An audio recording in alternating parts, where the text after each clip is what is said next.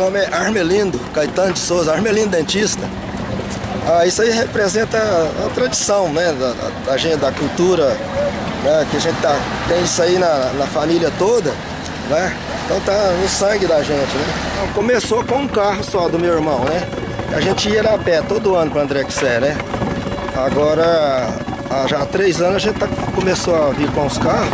Era um carro, agora nós já estamos com, com três. Esse aqui é o meu. O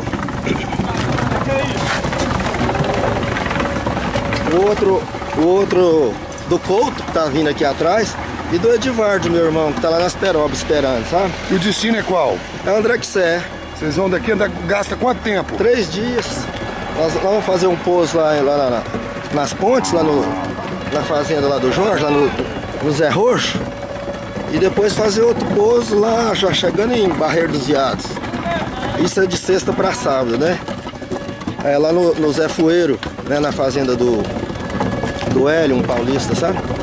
Amigo nosso. Então já a tradição, a fé. É, mas fé também, né? E quando a gente era criança ajudava muito os pais da gente.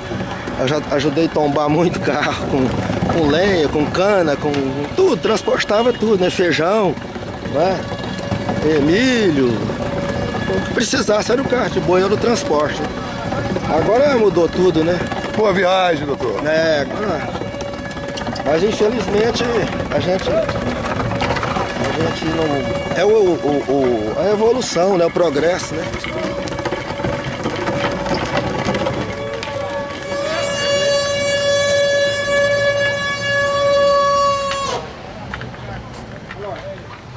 Hello.